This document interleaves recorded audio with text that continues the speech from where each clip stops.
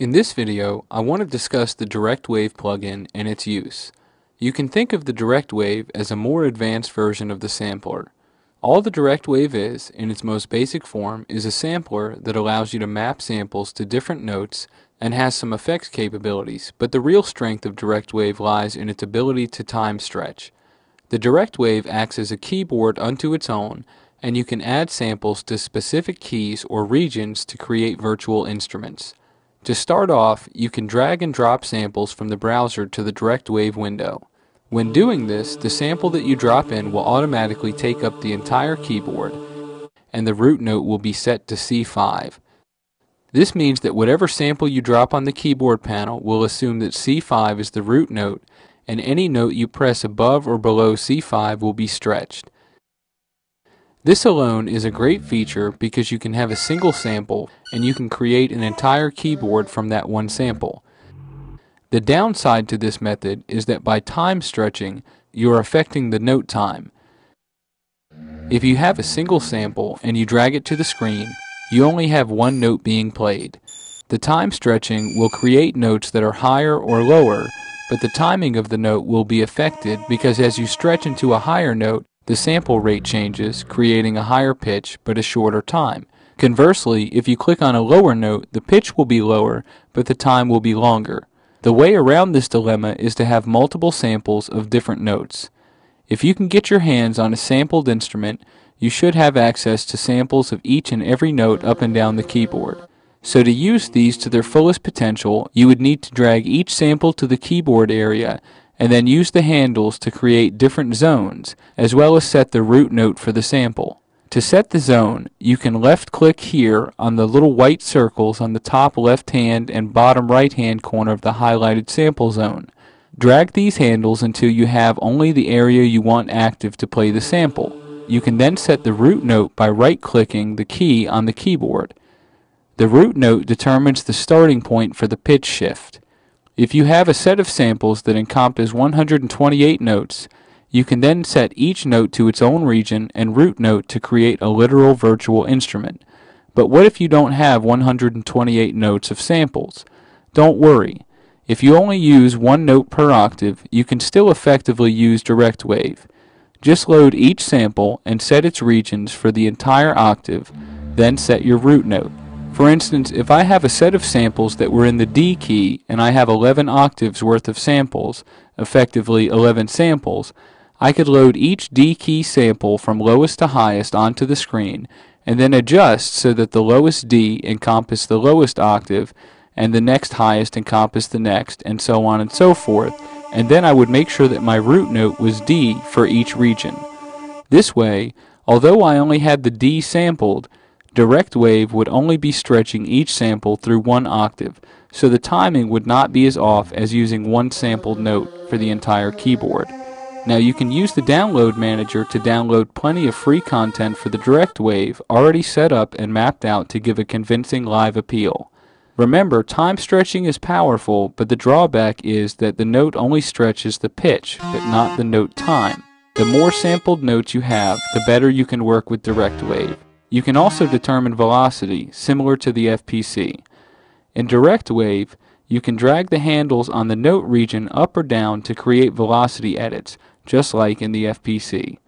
Let's say you have piano samples of D and you have them at varying velocities from soft to loud. You could place each one on the same note and the same root note and then change the velocity for each so that when you press a key softly on your keyboard, it will sound softly through the output but only because you're triggering the soft note sample. As you press harder, you would be triggering louder samples. This again gives us the ability to literally create virtual instruments using only samples. My advice again for the DirectWave is to get a hold of some very detailed sample sets. The more data, the more notes, the more velocity of each note, the better and more convincing you can make your virtual instrument. Now, as mentioned, you can create a sampled instrument using only a one note sample, but the time stretching will create a problem the further you get from the root note. Now, you can also edit the parameters of a sample and its zone in the sample list. Here, we have information regarding the sample title, its size, its sample rate, mute, which acts as the cut group function discussed in earlier videos, the root note for the sample, the coarse and fine tuning settings, keyboard tracking settings, how many ticks the note will sound for, the SY setting, which refers to the beat sync mode, which will adjust the playback of the note to match the main tempo, and SL, which is slice mode, and will slice the sample based on the amount of ticks you have set. This will place the slices on the next notes going up the keyboard so that you can trigger them using multiple notes.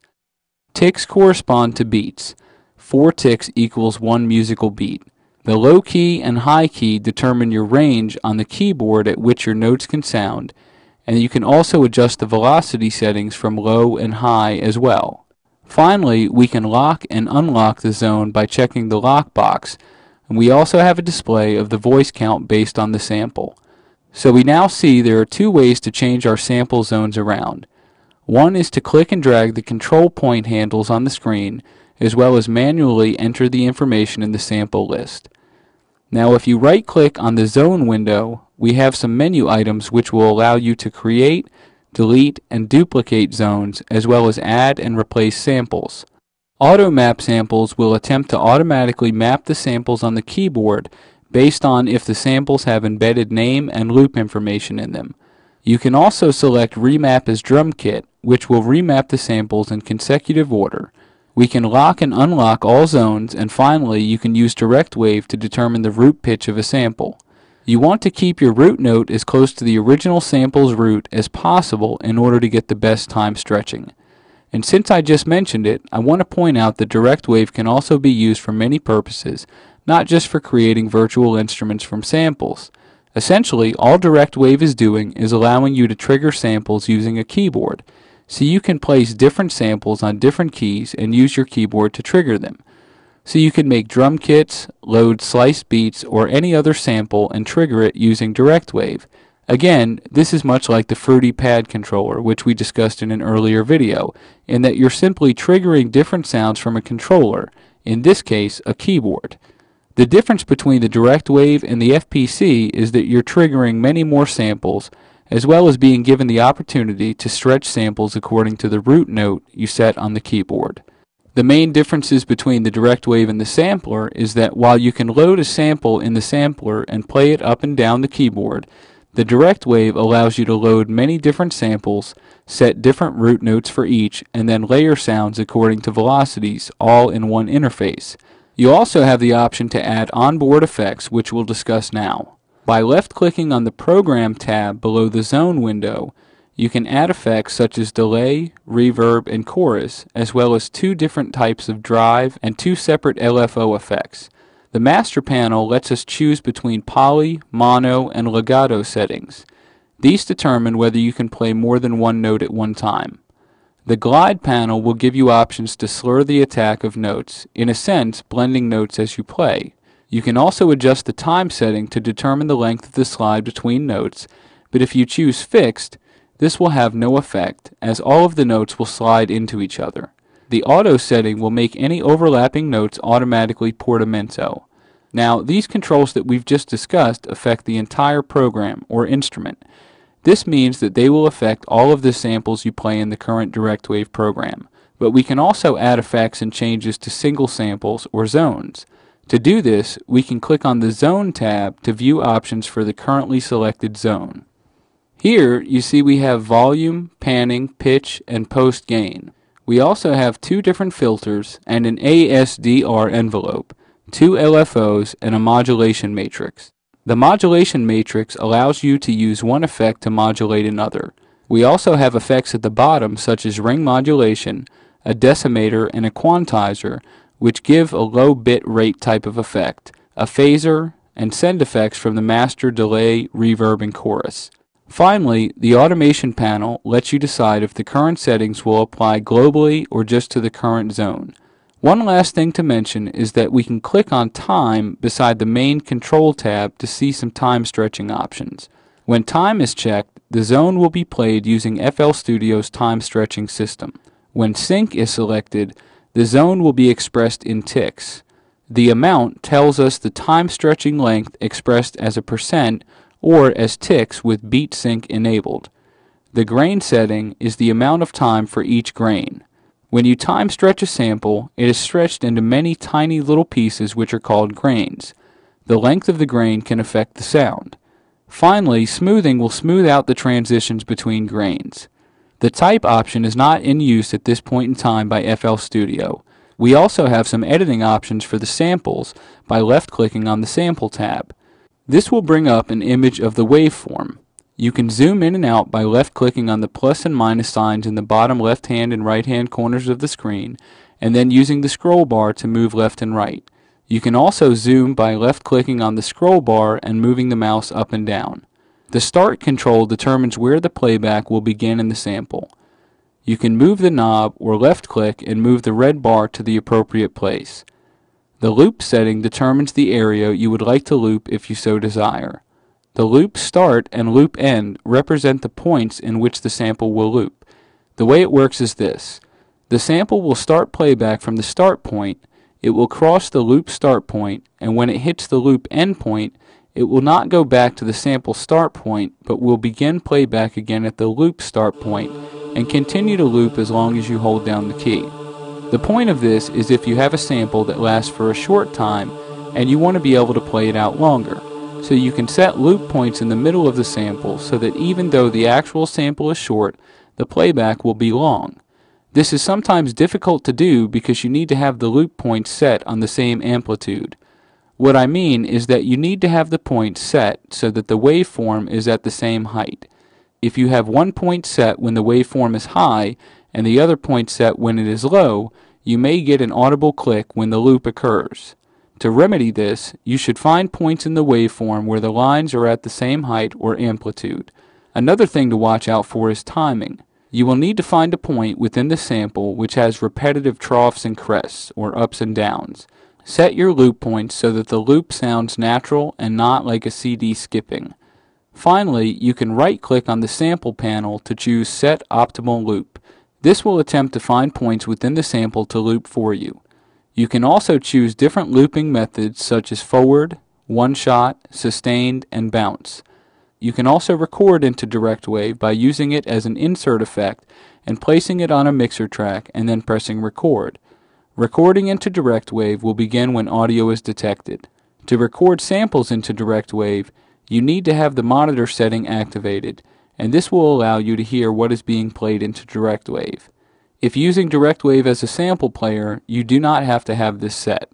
Now DirectWave also includes a 440 Hz test tone for tuning your samples.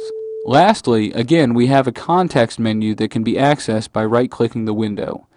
The menu contains options for zoom, cut, copy, paste, and trim, setting the start and end loop points, set optimal loop, as well as fade in and fade out, normalize, reverse, and save options. You can also switch to spectral display here. The last thing to point out on the direct wave sampler is the library menu. You can left click on the library tab to view any instruments that you have made or downloaded. You can double click to load a program or you can left click the arrow icon to import from another sampler's format such as battery or Kontakt. So we've seen how the DirectWave sampler offers a very flexible and powerful set of sampling tools as well as some really cool effects and editing functions. You can make your programs as complex or as simple as you'd like, and you can always save your work and return later to edit. To save, you can right-click to open the context menu in the Program Zone window. This is also where you can save and load programs as well as flush all. One note about saving. When you save, your file will be saved as a DWP file. This is only the file and not the samples themselves. You can load the file even if you don't have the samples, and all data in the DirectWave will appear, but if the samples are missing, no sound will be generated. When you save the file, a subdirectory will automatically be created in the folder that you saved to that will contain the samples. Remember, if you want to share your creation with someone else, you will need to create a zip file or comparable alternative with both the file and the samples folder in it. You can also use the total recall function to do this. We need to open up the options menu to view the total recall setting. By turning total recall on, we can then save the program as an FXP or FXB file. The downside to this option is that the file that you create will be as large as the sample data. Once total recall is on, you can save your file from the plugin wrapper menu. This would be the same place that you could load from. The other options that we have here are where you can set your default directories, as well as options to turn on high quality 64 point sinc, set multi-timbral mode, which will allow DirectWave to respond independently on all 16 MIDI channels. The file browser option will turn on the integrated file browser in DirectWave, which can also be accessed by left-clicking on the little arrow icon on the right side of the plugin window, as well as an option to normalize all WAV files. The extract root key from file name is an option which will attempt to determine the root from the file name of the sample. We also have an option for pitch identification for samples and compatible velocity, which allows older files to play from previous versions. This option isn't needed for current projects. Another cool option is that you can choose to host VST instruments for sampling in the DirectWave and then select a program or preset to sample. We also have options for lowest and highest key to sample, number of keys to step in between samples, number of velocity layers per sample, as well as the number of programs to render. You can change the duration of each sample and finally press process to begin sampling. This is a great tool because it allows you to take a VSTI, which may be CPU intensive, and sample it so that you can use it in DirectWave. So all in all, the DirectWave sampler goes above and beyond, offering us the ability to completely control our sample playing and editing, as well as offering us the ability to sample from VSTIs and external hardware. This powerful tool can be used to emulate real instruments, replicate classic hardware, or for any sampling purpose. Thanks again for watching and I'll see you in the next tutorial.